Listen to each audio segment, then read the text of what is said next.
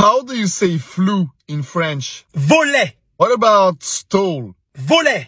Then, how do you say shutter? Volet. Ugly calf, Volet.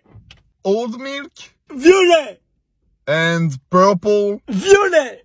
So how do you say the ugly purple calf stole the shutter and flew your old milk? Le volet violet, volet le volet, volet le violet. Don't come after me. Volet, volet, volet, volet, volet, volet, volet.